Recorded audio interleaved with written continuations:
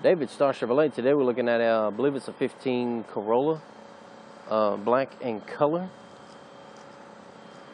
Rims and tires are good, good tire tread. It's an LE model. Seems to be in pretty good shape.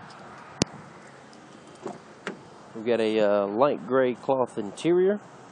It's got a little console there. We've got power, um, power locks, power mirrors, power, power windows. Power mirrors is here. See what we got in here. We've got a four-way pad here. I believe it controls the screen. We've got volume control.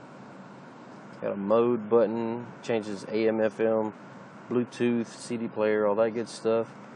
Bluetooth, voice command. The display button changes the information in the cluster, which I, how many miles does this car have? 35,000 miles on it.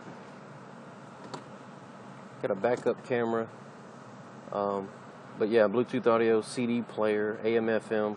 I thought satellite as well, but yeah, I don't see I see satellite, but USB and auxiliary is here. 12 volt source. Manuals in the glove box. You got a little shallow area in the console for like insurance cards and stuff, and then you got a deeper section. Uh, traction control. Good old heat and AC.